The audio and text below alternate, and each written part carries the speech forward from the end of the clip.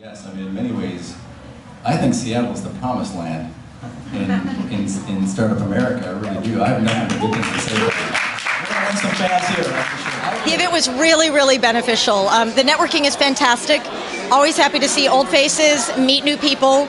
Um, the startup energy here is really amazing. And Christian Chabot, I mean, I think my thumbs are. Do you see the smoke coming off my thumbs from tweeting all the fabulous things that he said?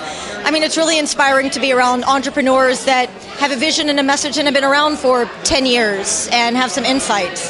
So it's been a really amazing event. Yeah, Meetup's just a great way to uh, meet a lot of uh, great local uh, individuals and, and uh, learn from the experts, uh, hear from the experts.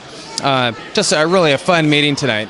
I think it was a great event, you know, well organized, and uh, Christian is a great talker, and that doesn't hurt. And uh, I think it's a great place to meet other sort of uh, entrepreneurial minded people in Seattle. And uh, I loved it, yeah. Uh, It was my first time coming and attending, and it was really awesome. It was a great opportunity to, um, you know, to hear an influential person speak about, you know, what's going on in the community. And um, he was very well balanced and down to earth, so very cool.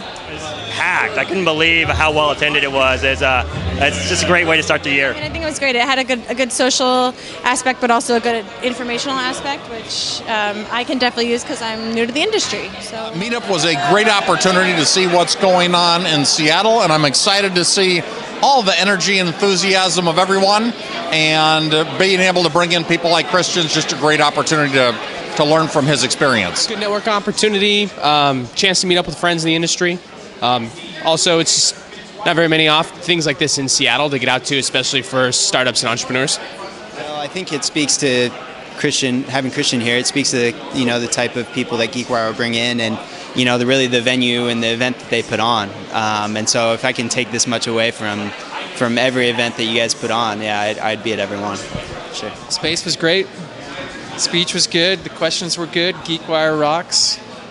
We'll be back again.